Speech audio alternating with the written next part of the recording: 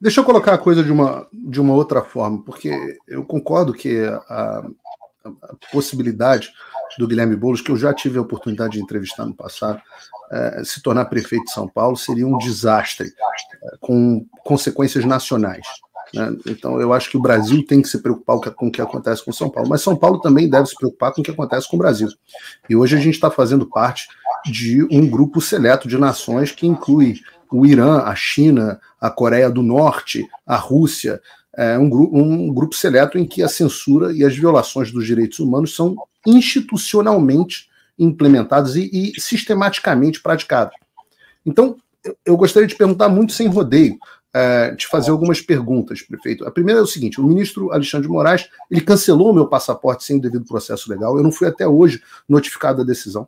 É, como o senhor falou, eu gostaria muito de estar fazendo essa entrevista pessoalmente, mas a única razão pela qual eu sei que meu passaporte foi cancelado foi porque fontes na Polícia Federal me informaram dizendo que tinha a ver com o inquérito das fake news, milícias digitais, esse tipo de coisa. Um ano e nove meses. Então, eu queria perguntar qual é a sua opinião sobre um Supremo Tribunal Federal que cancela o passaporte, bloqueia contas bancárias, bloqueia conta nas redes sociais de um jornalista sem o direito à ampla defesa, sem o direito ao contraditório.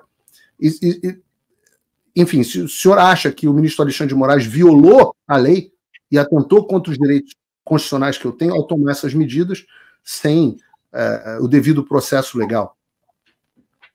O, o Paulo, indiscutivelmente, sem o devido processo legal, absolutamente errado. Pega o caso do Felipe Martins, ficou preso. Olha, eu estou falando do Felipe Martins, que disseram que ele havia saído do país, ele não estava aqui no Brasil e ficou preso seis meses. Eu fico imaginando assim: ah, um dia a gente vai morrer, né? Falar assim, ó, oh, então agora você vai ter seis meses a mais porque te, te é, privaram da sua liberdade de forma injusta. Ninguém recupera isso. Ele ficou com o seu direito de liberdade cerceado, ficou preso seis meses. Olha, eu, eu sei que o seu caso é muito grave, mas eu tô, eu tô querendo. Só o do Felipe é mais grave. Estamos, é estamos alinhados. Para deixar claro. Então, o senhor, o senhor concorda que o Alexandre de Moraes abusou de, do poder dele? É lógico, porque todo, todas as provas, a imprensa foi trazendo todas as provas de que ele estava aqui, a, que ele comprou do iFood, a, a, localização do celular, ou seja, e ele preso seis meses da sua vida. Poxa vida, o que eu não quero para mim, eu não quero para ninguém, eu não quero para os meus filhos, não quero para nenhum brasileiro, o direito à liberdade. Nem para Boulos. E nem para. É... Não, para o Boulos tem que valer o Estado de Direito, né? Para o Lula, para todos. Não, o Estado de Direito sim. Da, direito, sim. O que eu estou falando é o seguinte: por, que, por que, que eu fiz essa, esse comentário com você? Eu falei aqui que no dia 23 de setembro de 2015, é, o Boulos invadiu o Ministério da Fazenda, estava em cima da mesa, de, depredando tudo. Né? E foi o que fizeram com as pessoas lá no 8 de janeiro. E dando para essas pessoas penas altíssimas. E o Boulos não cumpriu um dia de pena, porque também invadiu o Ministério da Fazenda e depredou. Quer dizer, precisa ter o equilíbrio nessa, nessas decisões. A gente precisa ter é, de, do, das instituições é, o respeito à democracia, o respeito ao, ao direito do devido processo legal. Dizer, eu fico imaginando o Felipe, puxa vida, o, o, trauma que vai carregar, o sofrimento que carregou dos familiares. Imagina os familiares, o, o que passou é terrível. Então, com relação à questão de erro, pode ser do, do, do, do da, da corte, de, de, de uma delegacia, de uma justiça de primeira instância, a gente precisa sempre repudiar qualquer tipo de erro desse. Né? Eu, eu, eu, eu, iniciei, Paulo, sendo solidário a você. Quer dizer, por vida, como é que você não pode no seu país, cara? Meu Deus! Opa, desculpe interromper o seu vídeo, mas desde 2022 eu continuo com as contas bloqueadas e o passaporte cancelado pelo Xandão. Se você aprecia o meu trabalho e tudo que eu faço pela liberdade de expressão, tem um lugar onde você pode se tornar meu apoiador com uma pequena quantia por mês. Acesse www.paulofigueiredoshow.com e torne-se meu apoiador e aí você vai receber conteúdos exclusivos e desconto nos meus cursos. Ou então você pode se tornar meu patrono Gold e passar a me pautar, tem reuniões comigo, você entra para o meu grupo de WhatsApp que eu uso sempre. O link para tudo isso está aí na descrição.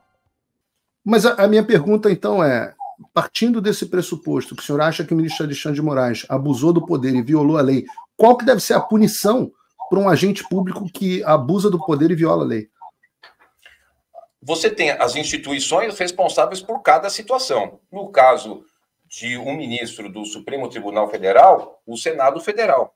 Cabe ao Senado Federal fazer, conforme está previsto na Constituição, né, para a gente poder ter aqui é, sempre uma colocação com seriedade, com aquilo que, que, que é. Eu não quero ficar lacrando, entendeu, Paulo? Eu quero ter um, aqui. Não, não tem que lacrar, não, perfeito. Mas o, o, Senado Federal, então, deve abrir, na sua opinião, o processo de impeachment contra o Alexandre de Moraes? Porque hoje ele não abre, inclusive por conta da orientação dos seus aliados. Sim, a, meu aliado? Não, é, não O Kassab, PSD, não, mas... Rodrigo Pacheco. Hoje o Rodrigo Pacheco tem o poder de decidir se abre mas... ou não um processo de instauração do impeachment. Não, sim. Mas daí o, o, senador ele tem a sua autonomia do mandato, não é uma pessoa subordinada a mim, né? Só para você, você sempre foi um cara muito justo, muito não, correto. Não, não, não, não subordinada ao senhor, subordinada aos seus aliados. Não, mas aí eu vou responder pelo, pelo, pelo outro partido. Eu trouxe um, um, um apoio importante. O apoio traz ônus e bônus, né, prefeito? Esse, esse, e é fundamental. Ele traz o, o, o ônus das posições políticas do PSD, por exemplo. Esse vai nos trazer o bônus de vencer a extrema esquerda. Eu tenho certeza absoluta, Paulo, que no dia 6 de outubro, quando terminar a apuração, você vai ser o primeiro a fazer, olha, vencemos a extrema esquerda, vencemos o Boulos. Eu não eu vou, prefeito, disso. porque eu vou Agora, estar com as minhas redes lá, sociais bloqueadas. Gente... Oi, eu, eu, senão eu iria até a sua festa de posse, mas eu não vou poder porque eu vou estar sem meu passaporte. Então, de que, que adianta, né? São Paulo vencer o Boulos e o Brasil continuar com o Alexandre de Moraes? Porque vencer o Boulos é a gente, a gente vencer essa escalada que faz com que a liberdade de expressão possa correr um risco. Da gente poder ter no horizonte do nosso país uma situação da democracia verdadeira, que a gente poder ter a liberdade de expressão, que nós possamos ter as instituições é, que respeitem toda a legislação, que não possa mais acontecer o que aconteceu com o Felipe Martins, ou seja, a gente fazer aqui é, um processo de, inclusive, desculpa chamar, de inteligência, de que a gente precisa fazer as ações necessárias para continuarmos avançando naquilo que a gente acredita, naquilo que a gente defende, né? Porque aqui na nossa cidade, Paulo, até ter na nossa bandeira, né? São Paulo conduz, não é conduzido. Nós, né, a gente conduz. E é isso que a gente precisa entender. Aqui é uma cidade importantíssima para não deixar de jeito nenhum uma semente aqui da do comunismo, uma semente aqui da extrema esquerda, e nós estamos fazendo, eu queria tanto ter o reconhecimento seu sobre isso, do esforço que a gente está fazendo para poder vencer a extrema esquerda e extirpar daqui da, da nossa cidade. Enfraquecer Vai ter turma. todo o meu apoio no segundo turno contra o Guilherme Boulos, não tem a menor dúvida. É, o primeiro também, a, No primeiro eu, eu vou me abster nesse momento, mas estou tentando conhecer melhor as suas posições, inclusive essa central sobre o Alexandre de Moraes. É, já que o senhor diz que não é responsável pela posição dos seus aliados, na sua avaliação objetiva e pessoal, uma vez que o senhor diz que o Alexandre de Moraes abusou do seu poder, ele deve, o processo de impeachment contra ele deve ser aberto pelo senador Rodrigo Pacheco? Havendo, havendo os pré-requisitos, todo impeachment deve ser aberto, Paulo. Se houver um pré-requisito. No caso objetivo do Alexandre, prefeito, no caso objetivo do Alexandre, que o senhor reconheceu que abusou do seu poder e violou a lei tem que haver uma punição para um agente público que faz esse tipo de coisa. Nem o senhor mesmo, como prefeito, se o senhor violar a lei e abusar do seu poder, o senhor vai sofrer as consequências. O Lógico. Alexandre deve sofrer? Se houver os pré-requisitos, sim, de todos, não só dele. Mas não todos. há os pré-requisitos? O senhor não sabe se há os pré-requisitos ou não? Não, eu vou saber? Eu sou prefeito de São Paulo, o Paulo. Eu sou prefeito de São Paulo. Os pré os pré O senhor é um dos políticos mais importantes do país. O senhor não sabe se há, os, se há hoje pré-requisitos para abrir o processo de impeachment contra alguém que o senhor disse que violou a lei? Então, o que deve ser feito? Havendo, havendo os pré-requisitos, havendo os pré-requisitos, evidentemente sim, contra todos. Contra todos. Qualquer um que transgrida e que é, utilize do, da sua função para transgredir a legislação, ele tem que, tem, tem que sofrer esse processo. O que, que acontece? O que, que, que tem de objetivo para você pegar qual que é o meu posicionamento? Eu já falei isso e vou repetir aqui. A matéria que a Folha de São Paulo traz, ela é gravíssima. Gravíssima. Agora, a gente precisa ter é, responsabilidade de dizer o seguinte: olha, é gravíssima, estão lá, é uma matéria jornalística. Se aquilo, se aquilo que está na matéria, porque nem tudo que está na matéria é verdade, né? Aquilo é gravíssimo. Se aquilo for é, comprovado e tem um processo legal para isso, a gente não pode pular etapa e ter responsabilidade de colocar as questões, até para não perder a credibilidade. Mas para isso é que é feita a abertura do processo. Se aquilo né? for verdade, se aquilo for verdade e está definido nos pré-requisitos, obviamente que sim. Mas nós, nós, estamos discutindo. Repare que eu não, eu não fiz, eu fiz uma pergunta muito precisa com as minhas palavras, prefeito. Eu não perguntei se o senhor acha que o Alexandre de Moraes deve sofrer o impeachment. Eu perguntei se o processo contra ele deve ser aberto. E uma vez aberto o processo no Senado, ele tem direito a algo que eu não tive, que é o devido processo legal e ampla defesa dentro do Senado. E eu volto a repetir a pergunta: deve ser aberto o processo de impeachment contra o Alexandre de Moraes? Paulo, já falei, vou reafirmar aqui. Havendo os pré-requisitos, sim, sim, com certeza absoluta. E o senhor não sabe se há os pré-requisitos? O que eu tenho de conhecimento é o que trouxe a imprensa, que é a matéria da Folha de São Paulo. E eu estou sendo muito. Mas no meu caso, da violação, por exemplo, da, das, dos meus prerrogativos, ou do Felipe Martins, ou de outras pessoas, como as pessoas do 8 de janeiro, é, pessoas que passaram por situações gravíssimas. Nós temos o caso da senhora Débora Rodrigues dos Santos, mãe de duas crianças, ré no STF, ficou 420 dias presa, sem ser denunciada, sem oferecer risco à, à sociedade pelo crime hediondo de escrever perdeu o mané numa estátua com um batom. Um batom é, é um absurdo. Um absurdo. Então, deve haver. É, é, é tá aí o, o, caso dessa, dessa senhora, muito comovente para mim. É, não, há, não há alguma dúvida de se há pré, os pré-requisitos para uma abertura de processo, porque é uma posição muito branda, prefeito. O, o país inteiro, o senhor estava no 7 de setembro na sua cidade, é, linda, o povo brasileiro se manifestando pelo impeachment do Alexandre. O senhor estava lá, ao lado do presidente Bolsonaro. O senhor, naquela ocasião, o senhor ainda tem dúvida de se há os pré-requisitos? Não, eu não estou não questionando se há os pré-requisitos. Eu só estou falando assim, como eu não fiz análise, eu falei aqui até, quando eu comentou do, do seu caso, do Felipe. Eu falei, olha que absurdo, porque aquilo ali já foi comprovado. Então, eh, se esse é o pré-requisito, por exemplo, então está posto o pré-requisito. Estou dizendo muito claramente, Paulo, havendo pré-requisito, obviamente, tem que ser aberto o processo e vai correr todo o processo legal de defesa, da, da, da contra-argumentação. Isso é, é, não, não, tem, da minha parte, nenhum tipo de é, escusa em ser muito claro sobre essa questão, né? Porque o senhor, num dado momento, disse categoricamente que era contra o impeachment do Alexandre de Moraes.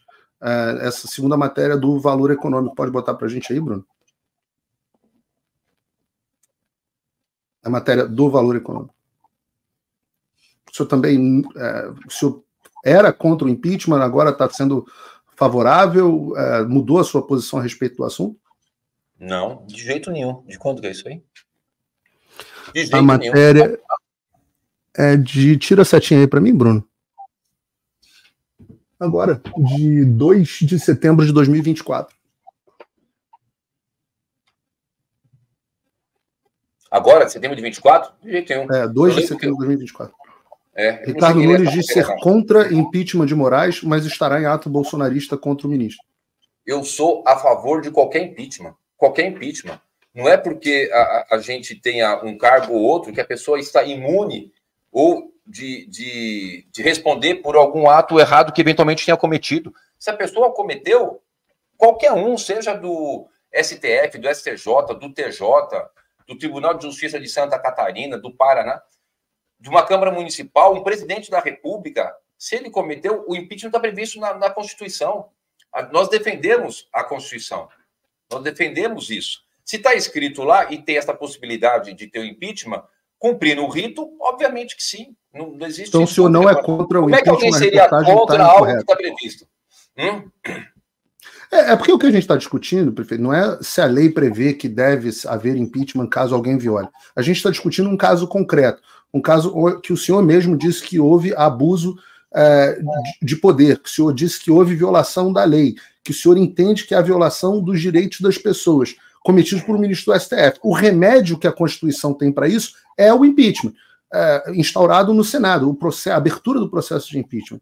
E o que eu estou colocando aqui na tela é uma matéria que diz que o senhor é contra essa abertura. E, e eu acho muito feliz que o senhor tenha a oportunidade de, de falar direto com o seu eleitor para dizer, a rede social permite esse tipo de coisa, né? É, dizer, não, essa reportagem é incorreta. É, no caso concreto do Alexandre de Moraes, eu sou favorável a que abra o processo. Sim, temos pré-requisitos, sim. Não existe essa afirmação de ser contra. Isso aqui é uma afirmação tão absurda. Se alguém, eventualmente, ele ou qualquer pessoa, cometeu ali alguma ilegalidade, vai ser contra, não tem, não tem como. A única questão só que eu estou falando, Paulo, é o seguinte: as informações, as informações que eu tenho são as informações vindas da imprensa. Né? Portanto, cabe ali dentro do processo legal, que são os senadores, fazer análise comprobatório dos documentos. E aí. Pacheco se, precisa deixar, né, prefeito? Se o Pacheco se sentar em cima, como está é, sentando. Aí, em, em se confirmando o que a matéria trouxe, que é gravíssimo, obviamente, tem que saber o processo, indiscutivelmente, mas não, não existe outra probabilidade. A gente defende a liberdade, defende a, aqui que a gente tenha um processo. Se tem alguém que está impedindo a liberdade, seria contraditório dizer o contrário. Né? A, a única coisa só, a gente precisa ter responsabilidade Fico feliz. fala. Não, não Fico feliz com o seu posicionamento.